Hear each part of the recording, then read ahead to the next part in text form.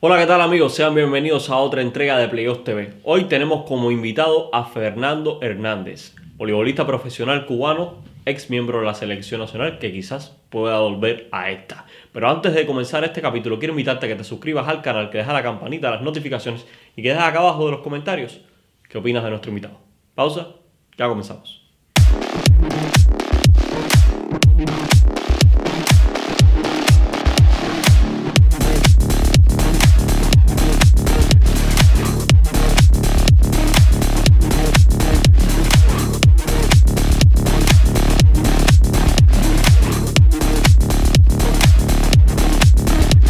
Bueno amigos, y como ya lo anunciamos en nuestra presentación, tenemos como invitado este día en Playoff TV a Fernando Hernández. Bienvenido, Fernando.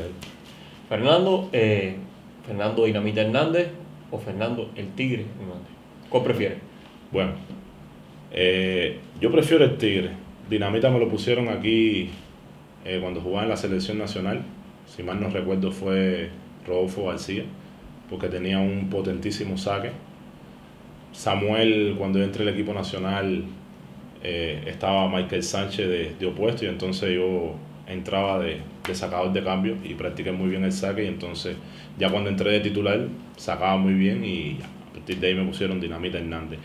El tigre porque es mi animal preferido y, y entonces tengo fascinación con ese felino porque es batallador, agresivo, eh, siempre lucha por su objetivo, es, ¿cómo se dice? No, no se cansa hasta lograr su objetivo y entonces fue una inspiración para mí para, como apodo. Pues hace unos días, mientras estábamos en el proceso de hacerte las fotos para la revista y demás, yo subí una foto junto a ti. Tú estabas con la camiseta, la tuya, la 19 del equipo Cuba. Y creo que fui uno de los culpables para decir ese rumor de que hay, junto a Ronnie Suris, que le mandamos un saludo a Cuba Spy, que hay sobre que Fernando pueda o no regresar a la selección nacional de Cuba, que está en Cuba con esas intenciones. ¿Cuán de cierto hay en esto? ¿Y qué estás haciendo en Cuba? Bueno, siempre cuando vengo a Cuba lo, lo primordial es ver a la familia, a los amigos, a las personas más allegadas. Y sí, eh, tuve un contacto con, con dirigentes de, de la Federación Cubana. Eh, por mi parte, fui el que, el que di el paso. Cuando vi a estos muchachos que no pudieron clasificar para la Olimpiada y un ex compañero mío de, de la selección nacional que fue Simón. Y entonces me quedé con eso de que a lo mejor si yo hubiera jugado o a lo mejor hubiera dado una indicación en un momento que estaba jugando de opuesto o algunos jugadores, eh, hubiéramos podido clasificar, porque después de haber ganado 6 increíblemente, perder 3 seguidos, eh, tiene que haber una falla psicológica, una falla de concentración increíble que no solo a, a ellos le ha pasado, a muchos jugadores de nivel mundial, campeones olímpicos, le, ha sucedido. Y entonces sí, quiero, quiero tener una conversación, ¿por qué no?, con el presidente de la federación y ver qué en tanto estamos de acuerdo en, en los aspectos que, que hablemos. Entonces, ¿crees que estaría cerca nuevamente ver a Fernando Hernández vestido con la camiseta de la selección nacional? Yo siempre lo he dicho en todas las entrevistas que, he dado, cuando he jugado en, en diferentes países, sea Japón, Turquía, Italia, que me dicen, no, hay jugadores que se han repatriado, León, Leal, Juan Torena, y yo he dicho que yo estoy orgulloso de, de haber compartido con esos jugadores y de haber jugado con ellos, y cada uno tiene sus metas personales y yo siempre se las aplaudo, pero yo no me sentiría cómodo jugando por, por un país que no fuera Cuba. Yo como profesional jugaría hasta en Haití, como se dice, pero como cubano yo nada más que jugaría por mi selección nacional. Vamos a dejar eso en stand-by y un poquito más adelante vamos a retomar el tema. Y vamos a esos inicios de Fernando Hernández. Porque muchos piensan de que tú llevas el voleibol en la sangre, pues tu papá fue jugador de la selección nacional. Pero sin embargo, tu primer paso al mundo del deporte no fue ni siquiera el voleibol, fueron las artes marciales mixtas. Cuéntame de esa etapa. Entre los 10 y 15 años, porque incluso cuando entré a la IDE seguía practicando los fines de semana deportes de combate con mi, con mi tío. Eh, yo y mi hermano practicamos karate, practicamos taekwondo y, ¿sabes? En el mundo donde se vive siempre es mejor saber defenderse que, que, que atacar. Porque atacar, hay veces que uno ataca hasta con temor y puede dañar a una persona de por vida. pero defenderse siempre es bueno y darle una lección a una persona que no debe atacar. Entonces a mí me encantaban las artes marciales, quien eh, no nació viendo las películas de Jackie Chan, de Jet Li, de, todo, de todos esos actores chinos. Y uno siempre le gustaba eso, igual que la, los Power Rangers, los muñequitos. Y entonces ya, eh, me encantaron las artes marciales y las practiqué con, con mi tío. Hasta que mi tío decidió querer que rompiéramos bloques, ladrillo y esas cosas, y ya, ahí se terminaron las artes marciales, lo que era estar mucho más enfocado en eso. Ya para ti terminó, cuando Mm. empezaste a que te había que romper cosas, ya terminaste. Y él decía, no, mira, esto no hace nada, van, van, y rompía las tablas. Y yo, pero este hombre es de hierro o es de carne y hueso. No, era increíble, era increíble el nivel de concentración que tenía. Y entonces yo y mi hermano nos decidimos por el voleibol. Nos decidimos por el voleibol y cada uno en su tiempo, pues mi hermano es menor que yo tres años, entramos a la IDE. Oye, hay una historia bastante curiosa tuya, en una anécdota que nos contaste en la entrevista, de cómo fue que superaste esas pruebas que pone, que pone el Inter para entrar a la EIDE, sobre todo de altura y demás. ¿Qué, qué me sucedió? Eh, fue increíble. Eh, creo que donde hacen las medidas es por el túnel de por el túnel de línea. Ahora no me acuerdo en qué parte, ahí lo hace. Y entonces yo le decía a mi papá, vámonos, vámonos, que no me van a aceptar, que soy muy pequeño, que soy muy pequeño. Y dice, tranquilo, vamos a hacer algo. Ah, cogió las plantillas, las triplicó. Y cuando me puse las plantillas, 1.60. Uf, exacto. Cuando llega la IDE, dice el piedra. Eh, el piedra le decían, el profesor Guzmán, que él hace entrevistas también para Cuban Spy y ese tipo de y, y me dijo, pero ¿dónde está el surdo ese 1.60 que me dijeron que, que estaba aquí? Este muchacho es un enano, así mismo. y así me dio un cuero tremendo tiempo, como 2, 3 años, hasta que pude dar el estirón de 10 centímetros cuando llegué al 14-15. Me decía que era un enano, que no podía jugar así con ese tamaño. A lo mejor era su manera de motivarme, pero eh, fue así. Oye, tú entraste a la IDE y para los que no conocen fuera de Cuba, la IDE es la Escuela de Iniciación Deportiva para los niños, o sea, hasta que llega etapa de adolescencia, 15, luego, 16. luego pasas a la EPA 15, 16. nacional y demás.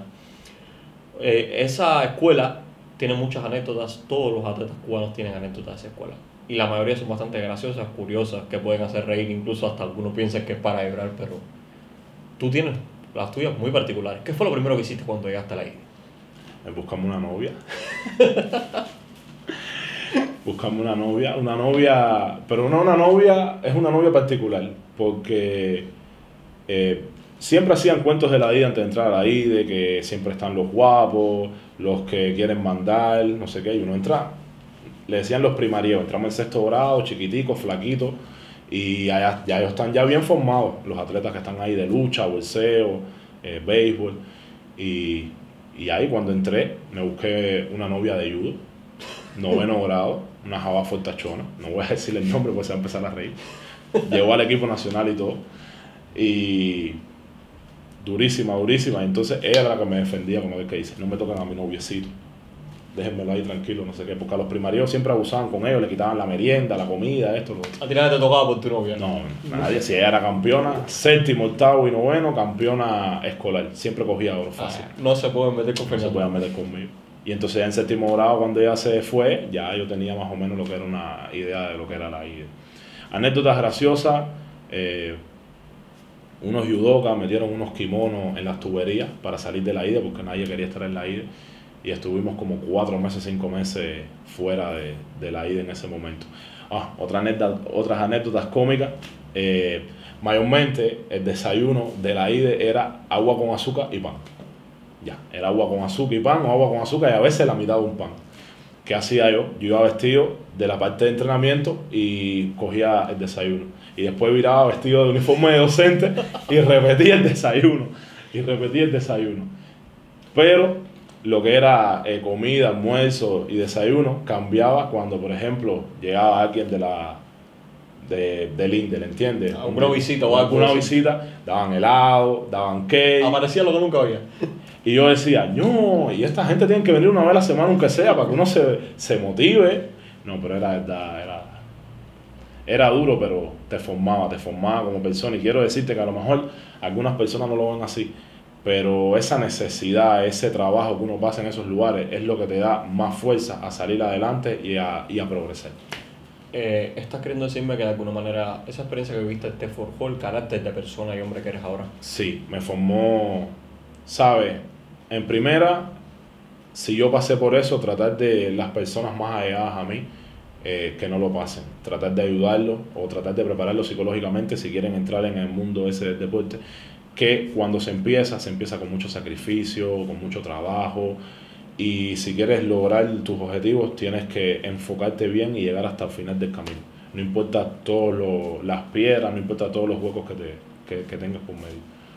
Tú tuviste una carrera en las categorías inferiores bastante buena, por así decirlo. Sí. En- eh, no eras de los mejores prospectos de las personas que decían este va a ser una estrella, pero sin embargo eras constante en tu trabajo.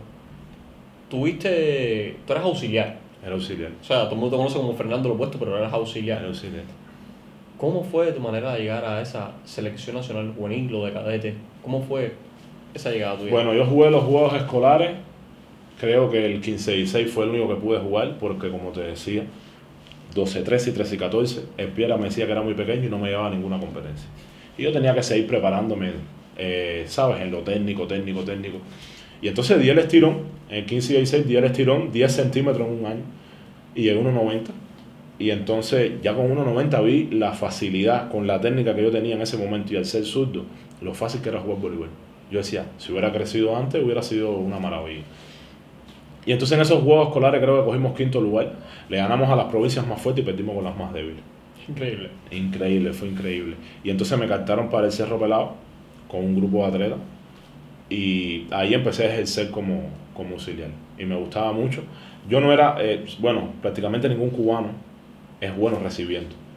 Pero era bueno poniendo la pelota en el medio del terreno para que el pasador pueda jugar para, hacia adelante y hacia detrás. O sea, llamada 3-2. Y entonces me daban una bola muy rápida, porque siempre ataqué una bola muy rápida, y lo único que tenía que hacer era este movimiento y siempre daban este bloqueo y iba hacia afuera. O si me dejaban la línea abierta, atacaba siempre por la línea.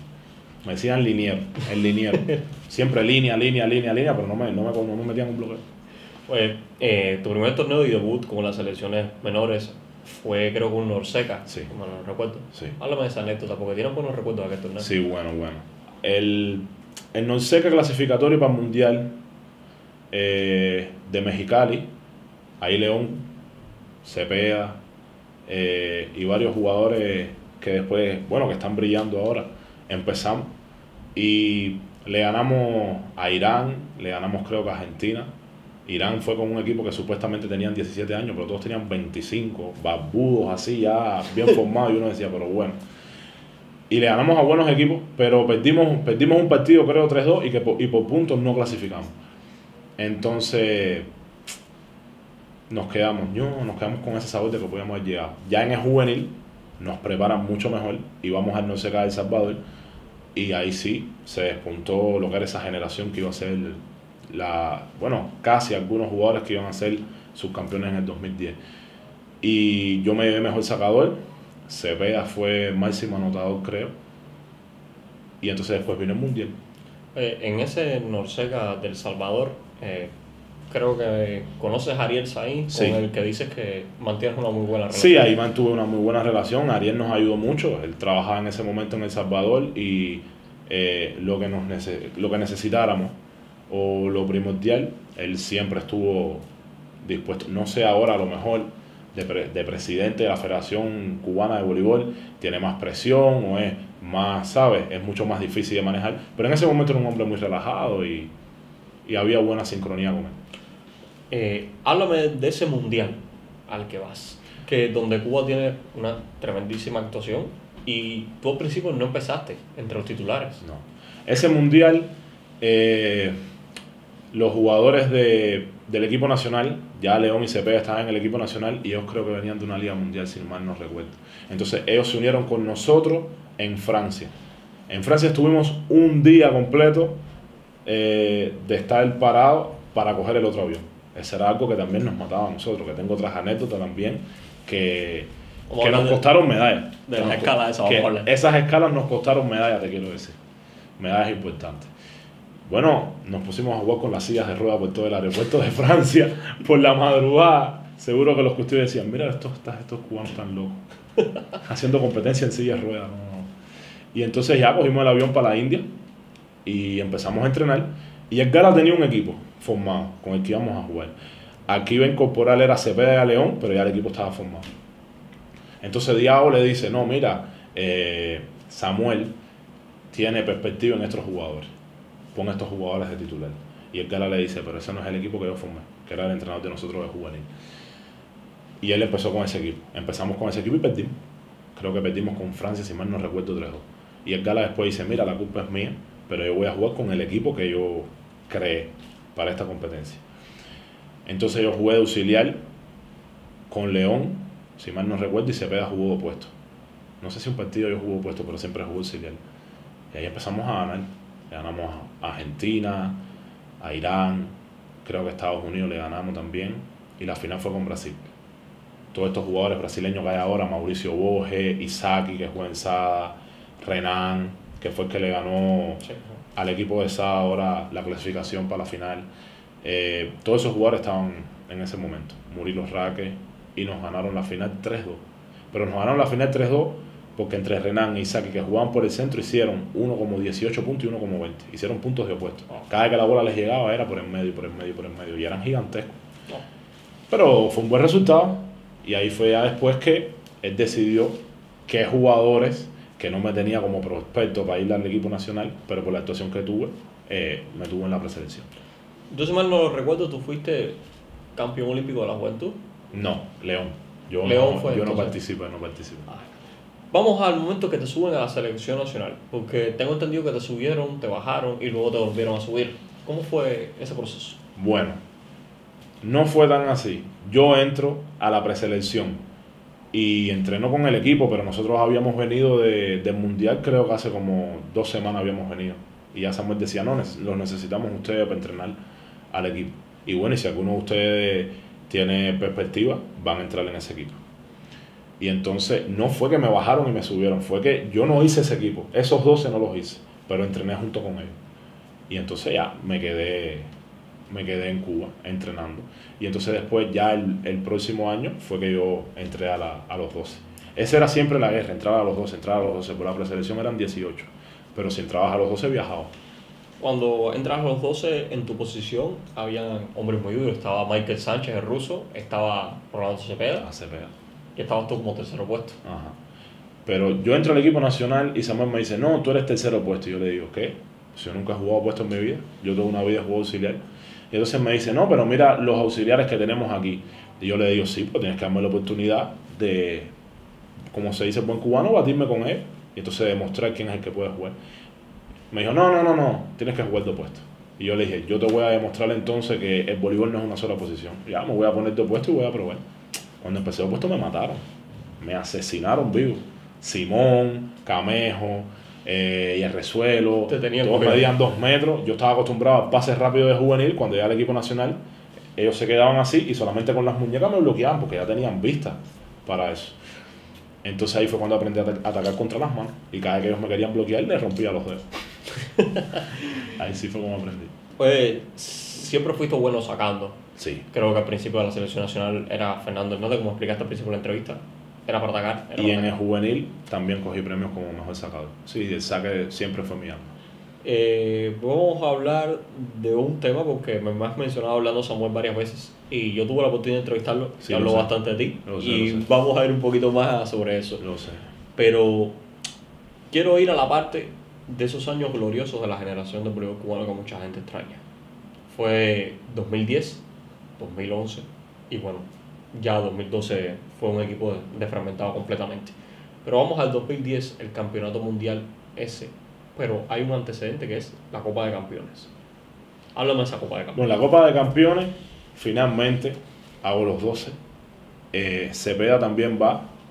Y entonces yo fui de sacador. En verdad no fui de tercero puesto, fui de sacador. Porque tenía buen saco. Entonces, otra vez la escala maldita, como se dice. Salimos para Francia. En Francia estuvimos como nueve horas.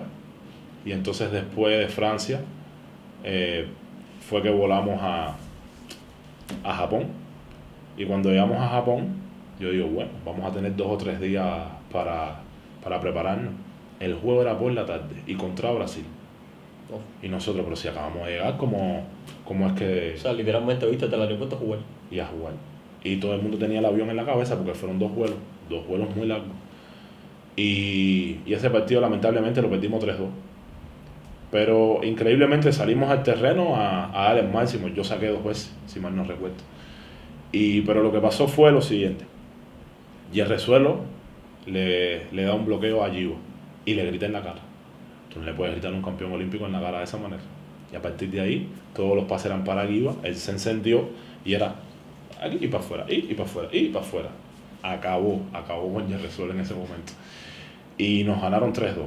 Y desgraciadamente también en el Taibre Leal creo que se dobla el tobillo y Henry Bell tiene que entrar frío del, del banco. Y no era lo mismo, ¿sabes? Ya no era la misma Sí, por sintonía. supuesto. Aparte, entra frío. como Entra quiera frío ser. también. Entonces ya perdimos ese partido 3-2. Pero yo digo que si nosotros hubiéramos llegado una semana antes y nos hubiéramos preparado con tiempo, nosotros hubiéramos ganado ese partido a Brasil. Porque Brasil se preparó dos semanas. Brasil fue dos semanas solamente para jugar contra nosotros. Y entonces después jugamos contra Polonia, que también era un equipo fuerte, y le ganamos fácil. Vino Egipto, vino Japón, ya todos los demás partidos fueron fáciles. Esa competencia se decidió en ese primer partido. Eh, vamos al tema que todo el mundo quiere oír. Campeonato Mundial 2010. Tuviste varios partidos buenos. Uno contra Italia, memorable. Contra Brasil, 27 puntos. Ese fue el partido que me marcó en las arenas de Verona. No, Ah, de ese, las arenas más ese significativas de está más duro todavía. Pero quiero que me hagas un- el recuento de ese mundial porque, a ver, tengo entendido que fue quizás la mejor preparación que hubo para un campeonato mundial en un equipo cubano. Sí. Ese mundial, si mal no recuerdo, nos preparamos, creo que fue en Perú. Creo que fue en Perú donde nos preparamos, como a 3.000 pies de altura. Tú sacabas y la bola volaba por los aires, nunca caía en el terreno porque era demasiada la presión y una falta de aire inmensa. Pero cuando nosotros bajamos de las alturas, éramos animales. Saltábamos, que era una barbaridad, teníamos tremenda resistencia y fue muy buena preparación. Pero después, antes de llegar al Mundial de Italia, nosotros pasamos por Serbia. Y en Serbia tuvimos un torneo con Rusia, con Bulgaria, Serbia y nosotros. Quiere decir que eran cuatro equipos que eran eh, seguros para coger una medalla en ese Mundial. Y fue otra muy buena preparación. Llegamos muy bien preparados. Pero el objetivo de nosotros, creo que era el lugar número 12, porque el otro equipo Cuba había cogido creo que 15, 16. No teníamos esa meta de la medalla. Jugamos contra Brasil ese partido y fue súper emocionante jugar ese partido contra Brasil. Eh, hice 27 puntos, estaba Juan Torena en el, en el público con la, con la mujer apoyándonos y habían varias personas. Y ganamos ese partido, después vino España, España no fue tan complicado y Egipto. Clasificamos de primero en el grupo. Pero al clasificar primero en el grupo, después nos tocó Serbia y México. Pero no nos tocaba Serbia y México. Creo que nos tocaba Rusia y Brasil. Entonces, Brasil se dejó perder por España y Rusia se dejó perder por otro equipo. Para no caer. Para no, chocar. caer, para no caer ese triángulo. Y entonces en el triángulo caímos Serbia, México y nosotros. Supuestamente nosotros teníamos que ganar la Serbia, pero ese partido lo perdimos con Serbia. Creo que fue 3-1. Y caímos entonces en otra triangular con Bulgaria y con España. Le ganamos a España 3-2 y le ganamos a Bulgaria 3-2. Que ese partido 3-2 de Bulgaria fue increíble porque eh, un, auxiliar de, un auxiliar de Bulgaria ganando ellos 23-21, la bola viene vendida y cuando va a atacar, en vez de meterle en el medio del terreno, da en la net y se va larga. Y el entrenador lo quería matar. Y entonces se pone 23-22, volvemos a sacar nosotros, hacemos contraataque y ya se puso 23 igual y ganamos ese set. Y fuimos al tiebreak. Pero si no, esa medalla mundial nunca hubiera existido. Bendito hombre que hizo. No, increíble, increíble. Solo la viene la bola, es encajarla en el medio del terreno y le da para la esquina, queriendo atacar un 4 para 4, la, la bola da en la net y se va larga. Viene, hay un partido muy recordado que es esa semifinal, que fue en la madrugada de Cuba. Yo recuerdo aquí todo el mundo estaba vuelto loco con ese partido. Es que nadie imaginó que nosotros íbamos a llegar tan lejos. Ya te digo, lo de nosotros era coger el puesto 10, 9. Y ya discutir una semifinal, entrar al Coliseo de, de Roma, que es súper lindo, gigantesco. Era como jugar en la ciudad partido. Nada más que faltaba poner 10.000 o 20.000 cubanos y ya ser la ciudad partido. Y nosotros estábamos acostumbrados a jugar en terrenos así, porque nosotros jugamos una liga mundial aquí increíble que no perdimos, perdimos un solo partido. Un solo partido perdimos. 11 victorias y una derrota. Y llegamos ahí a esa semifinal con Serbia y todo el mundo nervioso pero con adrenalina, ¿sabes? Nervioso en el sentido de que queríamos jugar bien y demostrar que nosotros merecíamos estar ahí. Y, y fue un partido increíble, 3-2. Ese partido Miskovic jugó, bueno, Miskovic siempre jugaba bien, Iván es terrible, pero ese partido jugó inmenso, inmenso, inmenso, inmenso. Y ganamos porque Miskovic se pasó todo el tiempo atacando por la línea, línea, línea, línea, contra las manos de León y de Leal, línea, línea. Y ese último punto le da, atacar, le da por atacar por la, por la diagonal. Leal le bloquea la línea, pero viene Osman y y le saca las manitos así chiquiticas, ¡pum! Y lo mata con ese bloqueo. Se tiró para el piso y dijo, Dios, Dios. y nosotros, yo, subcampeones mundiales. Eso fue increíble. Bueno, toda Italia estaba a favor de nosotros. Incluso contra Brasil, la final, Italia estaba a favor de nosotros. Pero ¿qué pasa? Éramos muy jóvenes. Eh, ganar esa medalla de plata para nosotros fue ganar la final. Y entonces llegamos al hotel, nos dormimos bien, nos estábamos bien concentrados, increíblemente estábamos relajados, no estábamos enfocados en una final, nunca habíamos discutido una final, entonces para nosotros eh, no era algo normal, no sabíamos cómo uno debía enfocarse para discutir una final. Y perdimos ese partido 3-0, fue que perdimos el partido. Pero si nosotros hubiéramos tenido la mentalidad que tuvimos eh, desde que empezamos el campeonato, yo creo que nosotros hubiéramos dado una, una final increíble. Ahora sí. Llega un momento que muchos dicen que ese fue el plus de la selección cubana, pero el inicio del fin de la generación.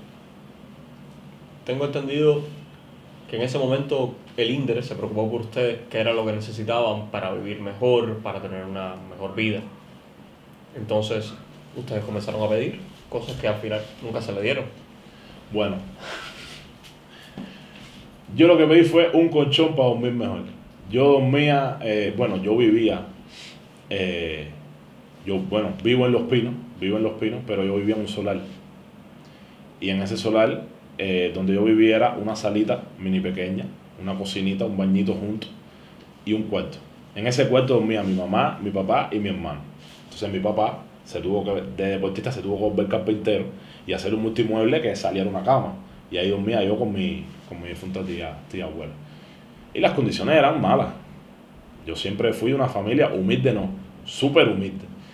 Y entonces yo lo único que pedía era un colchón para dormir bien, porque un deportista, yo siempre oí que los deportistas dormían en camas de esa eh, que le da masaje, que esto y lo otro, para cuando ellos vayan al entrenamiento vayan bien descansados. Y yo decía, bueno, yo no voy a pedir un colchón así, porque aquí a lo mejor en Cuba no lo hay, pero un colchón no me. Otra gente se mandaron, no, un refrigerador, un televisor, un no sé qué.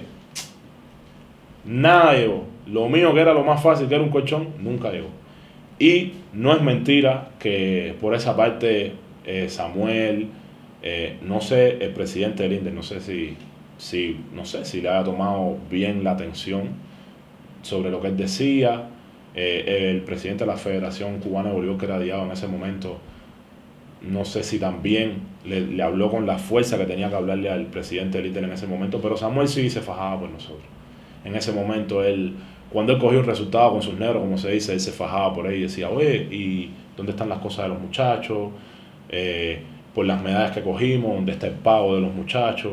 Porque los muchachos se merecen. Se demoraron hasta dos años en pagarnos. Se demoraron dos años en pagarnos.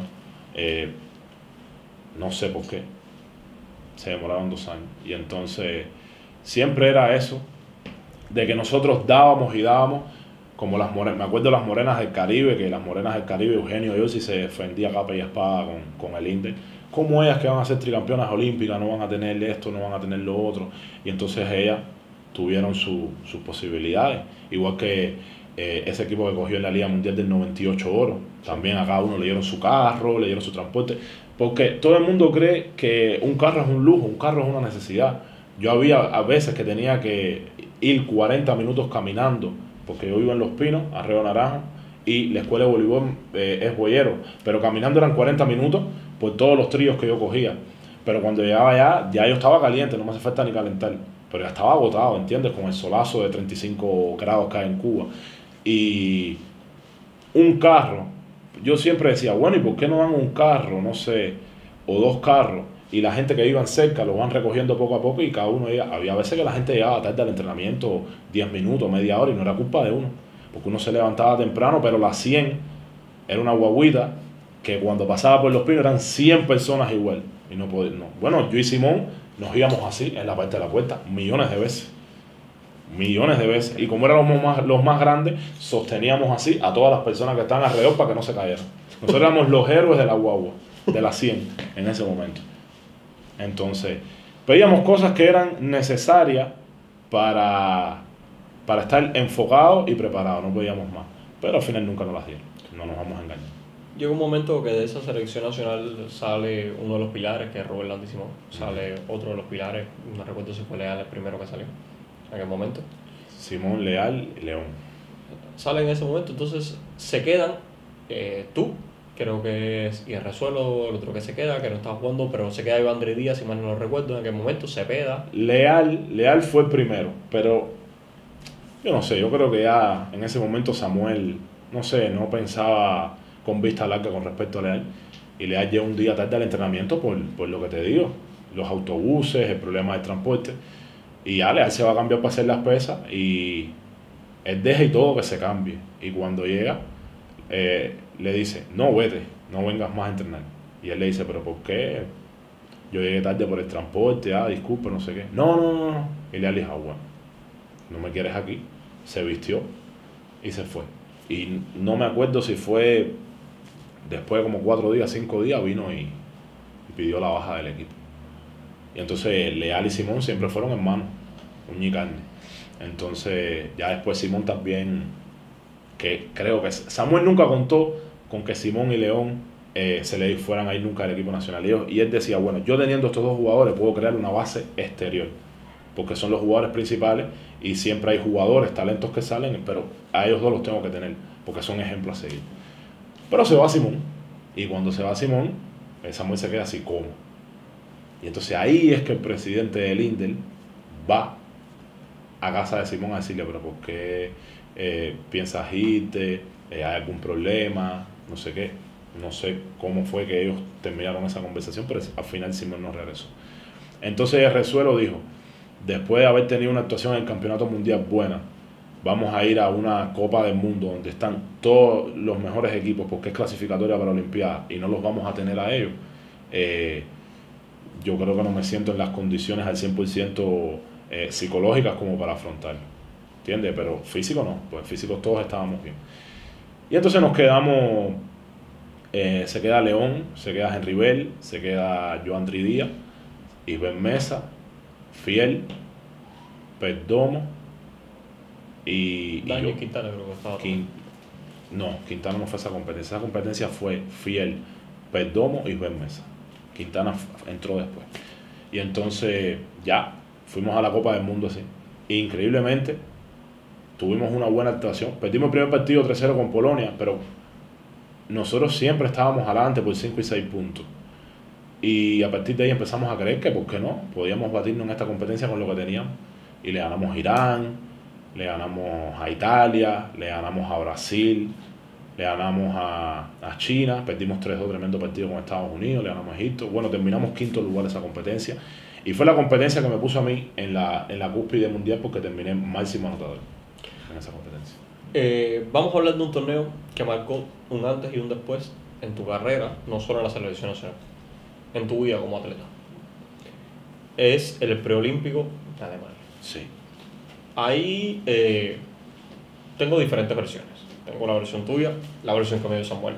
Los que quieran ver la de Samuel para no indagar mucho, pueden verlo en la entrevista que le hizo Playoff, buscan Orlando Samuel en nuestro sitio web y la van a encontrar. Samuel me alegó que para el partido fundamental, que era el contra Alemania, porque ya habían ganado todos los juegos, eh, tú ese día no estabas entrenando bien, alegabas que eh, no te hacía falta entrenar bien, que cuando viniera la hora del partido que tú lo ibas a hacer. ¿Qué sucedió realmente? ¿O me puedes contar tu versión de los hechos? Bueno, jugamos la Liga Mundial. Y cuando jugamos la Liga Mundial, yo vengo de ser subcampeón panamericano y mejor sacador y quinto lugar en la Copa del Mundo y máximo anotador. Yo estaba en una condición increíble. Estaba muy bien en ese momento en el equipo nacional. Al irse Leal y Simón tenía mucha más responsabilidad yo y me hice ver más, brillé un poco más. Y en la Liga Mundial tuve muy buenos partidos contra Rusia, contra Japón y contra Serbia. Entonces se corta la Liga Mundial y tenemos que ir al preolímpico. Vamos para allá para el preolímpico con tremendos ánimos, con tremendas ganas de ganar. Eh, entrenamos muy bien y jugamos el primer partido contra República Checa. y le ganamos a República Checa de, de Stoker, que ha sido uno de los mejores opuestos del mundo, campeón con Trento. Y jugamos un buen partido, ganamos 3-0, 3-1, no me recuerdo. Y yo tengo un buen partido, creo que marqué 15 puntos, 16 puntos, no me, no, no me recuerdo bien. Entonces después viene el partido contra Alemania. El partido contra Alemania, yo no sé por qué él dice que yo estaba entrenando mal, porque yo estaba entrenando como he entrenado siempre.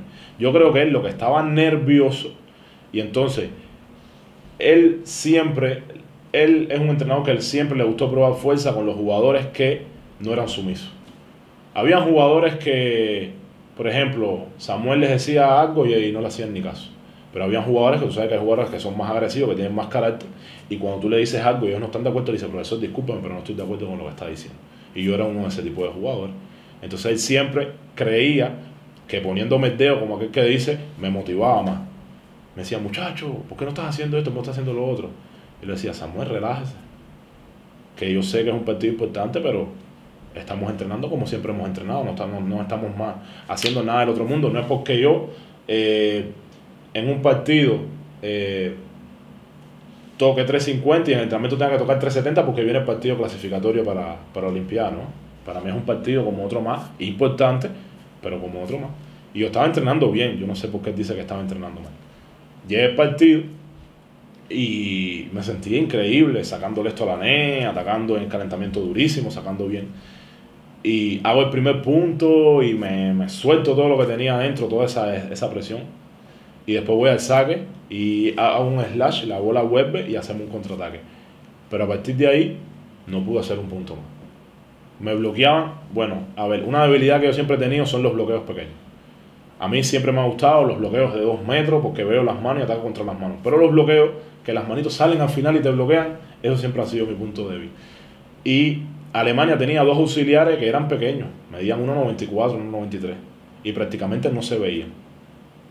Entonces, eh, cuando pasaba la bola para el otro terreno, me defendían o me bloqueaban. Incluso pusieron a Grossel, lo cambiaron para que me bloqueara a mí. Porque como ellos habían visto la competencia que yo había tenido en la Copa del Mundo, dijeron, no, el opuesto es el que va seguro de definir el partido. Y tuve el partido más malo, más malo de mi vida, se puede decir. Y entonces me marcó mucho porque me quedé con ganas de clasificar para unos Juegos Olímpicos, que es, es la cúspide de cualquier deportista. Pero después venía la Liga Mundial nuevamente y yo estaba preparado, listo para seguir jugando la Liga Mundial, porque un partido no define un atleta. ¿Cuántos campeones mundiales, cuántos jugadores de primer nivel no han fallado un penalti, le han dado un knockout en un momento que se han despistado? Eso es algo normal en el deporte. Pero Samuel se la reprendió conmigo y como ya Simón y Leán no estaban, el eh, que le quedaba era yo. Y él dijo, bueno, voy a aprovechar y como dice el buen cubano, le voy a meter el hacha a Fernando, que es el que me queda. Y a las 10 de la noche, que íbamos a ir por una discoteca que estaba cerca ahí del hotel para relajar, porque teníamos como 3, 4 días antes que empezara la Liga Mundial Dominicana. Sí, por supuesto, va a ser un contexto. Ya esto sucede en República Dominicana, donde Cuba jugaba la Liga Mundial en aquellos años, porque los que recuerdan, el Coliseo de la Ciudad Deportiva tenía roto el aire acondicionado y Cuba tenía que jugar como local en República Dominicana. Con ventilador. Cuando jugamos en la Ciudad Deportiva acá, en el 2010 creo que esto es la Liga Mundial. Entonces, ya nos estamos preparando, íbamos a ir con los jugadores del equipo de Dominicana y me llaman a las 10 de la, de la noche y me dicen, no, no tienen, tenemos una reunión contigo. Y dije, oh, esto huele mal. Ah, yo creo que me van a mandar para atrás, porque yo sabía que los periodistas tenían que, que retroceder. Y entonces yo dije, seguro me van a mandar con los periodistas para Cuba. Cuando ahí me dijeron, no, mira, eh, vamos a probar jugadores nuevos y creo que tus servicios por el momento ya no son requeridos, como aquel que dice. Y dije, pero como tú vas a mandar al opuesto principal del equipo nacional para Cuba, por un partido, niño Samuel, que nos conocemos, así mismo le dije y Pimienta me decía, muchacho, tranquilo, y Alberto, fueron los entrenadores nada más. Dice Samuel en la entrevista que estaba León, León no estuvo. No, él me alega que él, se reunió posteriormente, antes de entrevistarse contigo con León. No, no, pero, ah, porque León nunca estuvo. Nada más que estuvieron los cinco entrenadores, o cuatro, no me acuerdo, estaban ahí. Y entonces me dijeron eso y yo digo, bueno, aunque sea, de, no sé, Samuel, ten la decencia de, de traerle un opuesto de cambio, vas a traerle un jugador que no es ni mi misma posición. Y ahí fue cuando me di cuenta que lo que quería era deshacerse de mí. Pues supuestamente él ya yo estaba eh, perjudicando al equipo eh, ya yo no estaba enfocado en la competencia. Cuando yo, la primera fase de la Liga Mundial, estaba entre los máximos anotadores. Pero bueno, cada entrenador tiene su, su forma de, de, pensar. Ya fui para Cuba, mire para acá para Cuba, hablé con mi papá y le dije, bueno, mire, ya yo creo que se fueron dos jugadores importantes de nuestra generación. Si Samuel me viró es porque creo que no tiene expectativas en mí. Así que vamos a pedir la baja y entonces vamos a pensar ya eh, para prepararme para empezar como profesional. Porque mi sueño es el voleibol y yo quiero seguir jugando voleibol. Antes de eso, tú tuviste una reunión con el comisionado, el fallecido Eugenio George, que era en aquel momento el presidente de la Federación Cubana de Voleibol, en sustitución de Raúl Diao.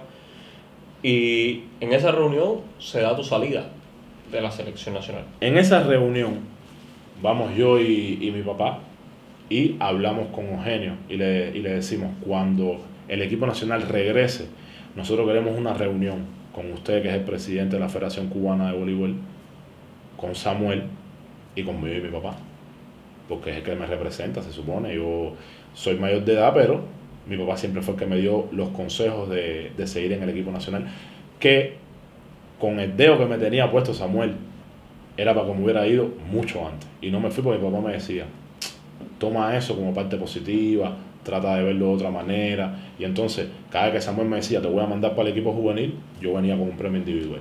Cada vez que me decía que tú eres un opuesto muy pequeño, yo le venía con otro premio. Y siempre le decía, recuérdate que usted fue el que me puso de opuesto. Yo nunca era opuesto, yo era auxiliar en ese momento. Y entonces ya llegan esta gente del equipo nacional, yo muy contento porque cogieron bronce en la Liga Mundial. Yo también hubiera podido coger ese bronce, pero bueno, me sacaron. Entonces ya llegamos y cuando voy a hacer la reunión, ya Samuel había mandado a Hidalberto para el equipo juvenil. Y yo miré a Hidalberto y le dije, viste, no se puede confiar en la gente al 100%. Y Hidalberto se quedó así como diciendo, no, me mandaron para acá, yo no esperaba que me fueran a mandar para el equipo juvenil o para el segundo equipo. Y entonces Samuel subió, creo que a Vive en ese momento, no, sé, no me acuerdo quién fue el que subió de, de segundo entrenador. Pero la reunión era entre nosotros tres y él trae un ejército, no sé, creía que parece que yo lo iba a atacar, no sé. No sé qué pensó Samuel que dijo.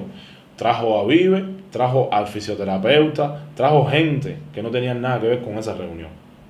Para buscar colectividad, no sé para qué. De todas maneras, ya yo tenía mi decisión. Yo dije, mire, Samuel desde que entra al equipo nacional, no sé qué problema tenía conmigo, que siempre era arriba de mí, arriba de mí, arriba de mí. Está bien que si tú estás arriba de un jugador para ayudarlo, yo estoy contento porque tiene interés en mí, pero si me dice, muchacho, ¿qué estás haciendo? No, no tienes texto, no tienes lo otro, criticando, ya eso no es ayudar. Ayudarle es perfeccionar la técnica en esto, eh, recibe de esta manera, y entonces él no lo hacía de esa manera, y yo siempre tuve una buena educación, por eso nunca, eh, ¿sabes? Lo tomé eh, de manera explosiva o agresiva, como otros jugadores que si se lanzaron contra él, que dijo, ay Dios mío, si este jugador de 100 kilos me coge, acaba conmigo. Así. Y yo no, yo siempre lo tomé de la mejor manera. Y yo dije, bueno, yo lo voy a demostrar con títulos y con premios. Es como se lo voy a demostrar. Entonces, estamos en la reunión, hablan con las personas del docente. No, Fernando siempre fue eh, un buen, buen alumno, él siempre fue a, a, la, a la mariposa, al Fajardo. Que yo estaba estudiando cultura física, nos faltó siempre una buena disciplina. Después hablaron con el director de la escuela de voleibol. No, Fernando nunca cometió una indisciplina, nada. Y entonces ya hay un momento que digo, bueno, Fernando no ha cometido ninguna indisciplina. La única indisciplina que cometió Fernando fue que no ha venido a entrenar estos tres días. Y mi papá nos quedamos, ¿cómo? ¿Cómo que entrenar estos tres días? No, pues tú no has venido a entrenar. Cuando yo llegué aquí, lo primero que hice fue llegar a la escuela de voleibol y decirle a Eugenio que yo, apenas ustedes llegaran, quería una reunión con ustedes. Ustedes nunca me llamaron para esa reunión, por eso yo al tercer día vine inquieto de por qué no se había hecho esa reunión. Y entonces me querían sancionar porque había dejado de entrenar tres días. No, mi papá cogió un insulto, se levantó, Samuel hizo así y dice, Samuel, que usted fue entrenador mío, yo no le voy a dar un golpe. Y le dijo, miren, el problema es lo siguiente, yo conozco a Samuel porque yo fui atleta de él también, cuando Abel Sarmiento contra una en, en, en ese tiempo de esa generación también y yo conozco cómo él trabaja, le dijo así.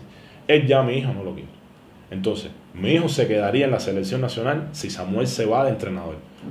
Como ustedes no van a aceptar eso, yo me llevo a mi hijo para mi casa.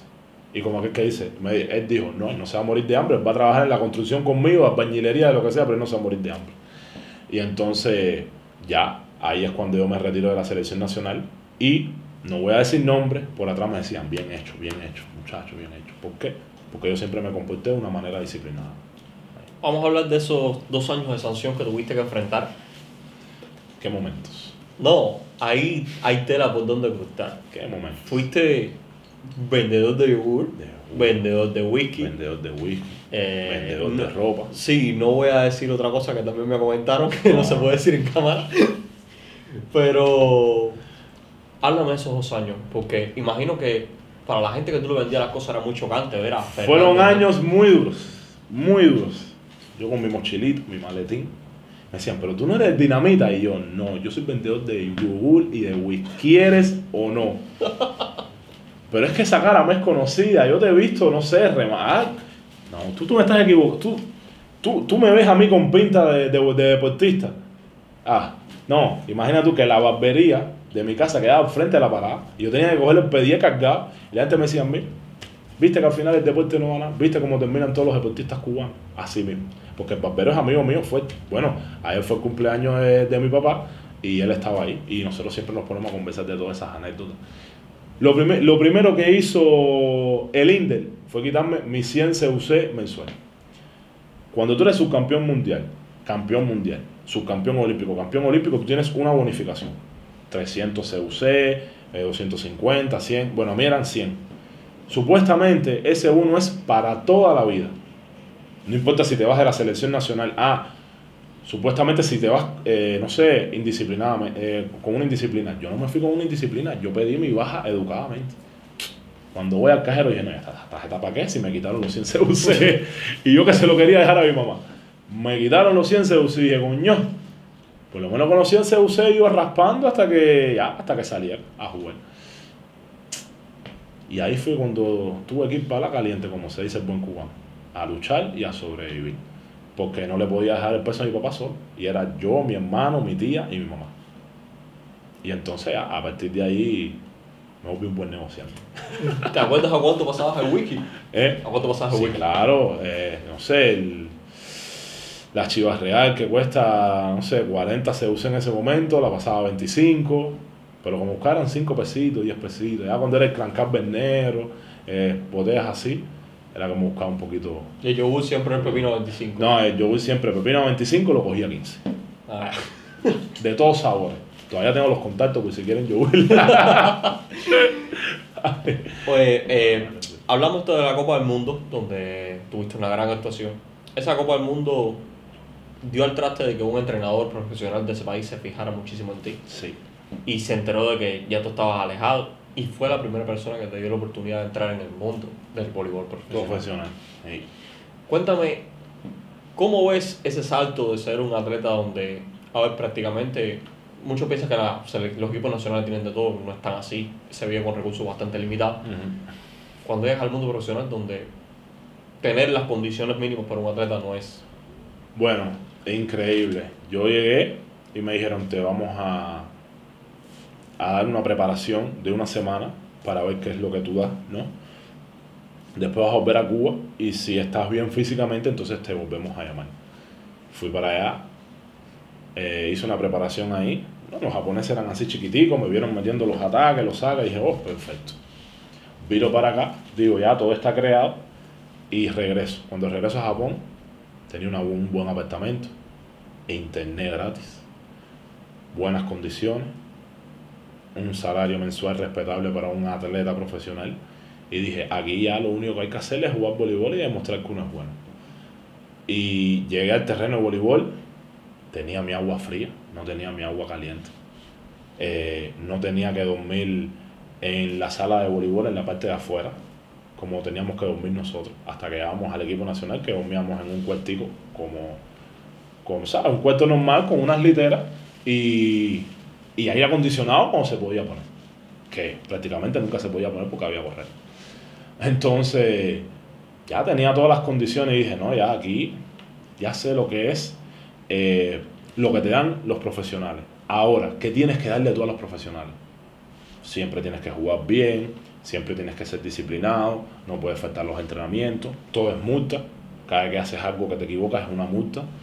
Entonces, yo dije, perfecto, me gustó mucho empezar en Japón porque son muy, muy disciplinados, muy estrictos, son muy amigables, pero cuando es trabajo es trabajo y eso me forjó para después ir a Italia, que Italia es la mejor liga del mundo, pero es un poco más relajada con respecto a eso. Pero ya tú venías con esa mentalidad de Ya venía con esa mentalidad de japonés. A esta hora esto, a esta hora lo otro, a esta hora lo otro, así. Pues has tenido una carrera profesional brutal. Eh, Japón, Italia, Turquía. Turquía. En Italia varios años. En Italia cuatro años. En esos años en Italia eh, fuiste el mejor, no- el novato del año, por así decirlo, dentro de la liga. El premio de la Gaceta del Sport, que es como el balón de oro en el, en el fútbol. Tuviste el premio al mejor sacador. Mejor sacador Y también. me hiciste una anécdota curiosa sobre el segundo año donde pudiste haberte llevado. Digas eso. Todavía, todavía digo que eso es culpa de la mafia italiana. Acabaron conmigo.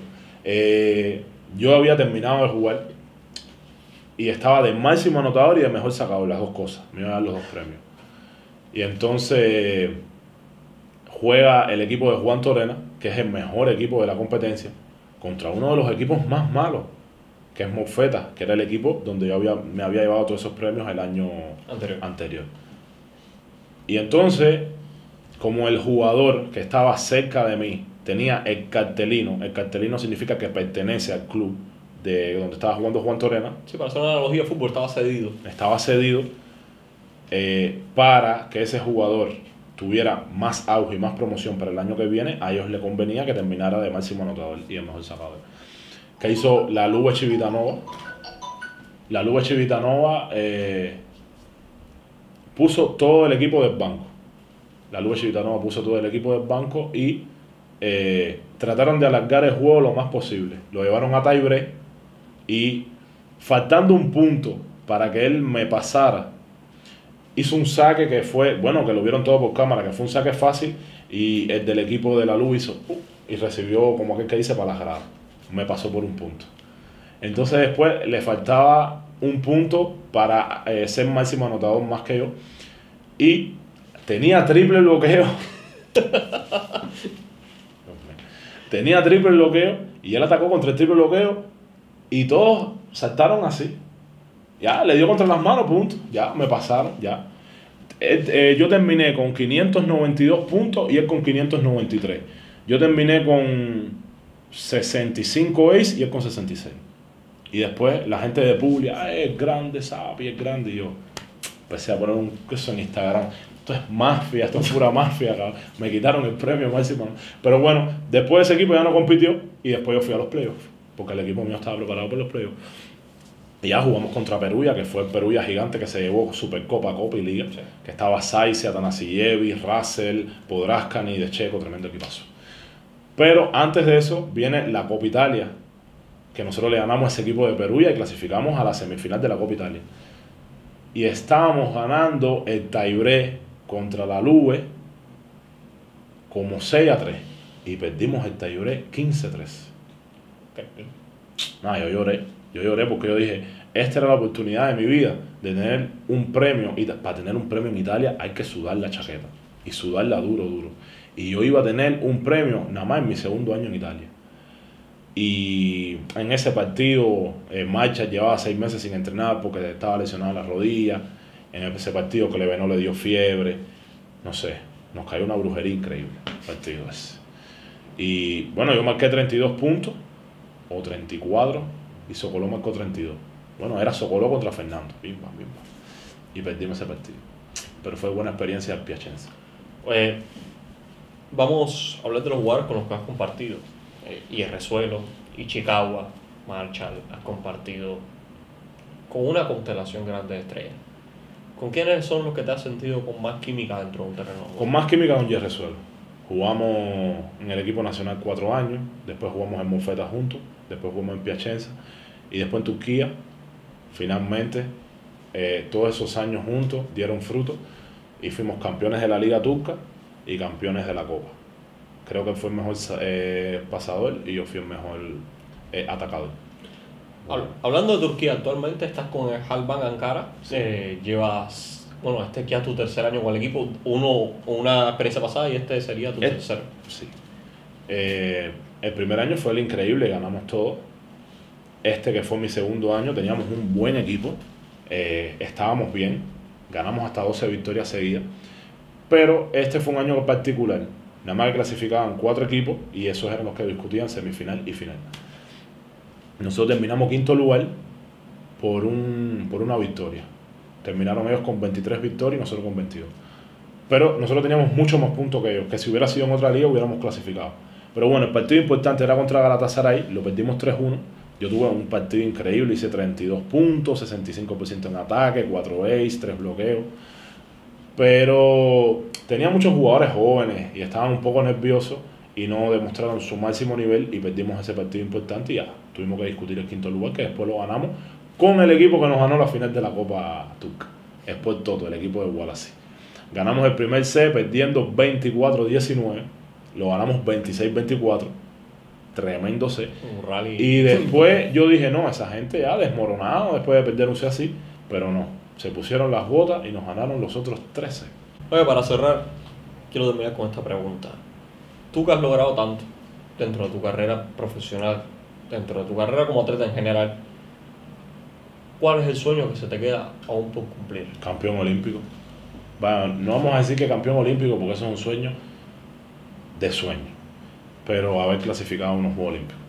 Porque como fue el partido que ha sido el talón de Aquiles en mi carrera deportiva, eh, pudiera inventarlo y aunque seas clasificar a una Olimpiada y después ver ahí qué, qué sucedería. Ese es mi único sueño que me queda como atleta profesional. ¿Quisiera, ¿Quisieras lograrlo con Cuba o...? No, con Cuba, con Cuba, yo no con ningún otro país. Yo si juego, juego por mi país. Y aparte lo más lindo que hay es representar tu patria.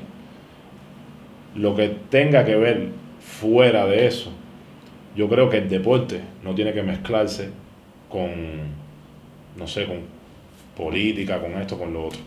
Para mí, eh, tú tienes que defender tu patria, tu camiseta, con todo lo que tengas.